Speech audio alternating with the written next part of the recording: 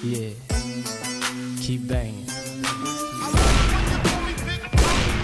Throw your hands in the air if you're a true player.